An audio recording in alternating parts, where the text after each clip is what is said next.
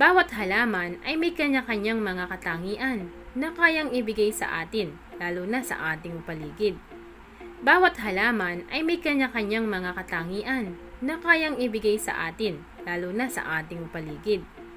Bawat halaman ay may kanya-kanyang mga katangian na kayang ibigay sa atin, lalo na sa ating paligid. Bawat halaman ay may kanya-kanyang mga katangian na kayang ibigay sa atin, lalo na sa ating paligid.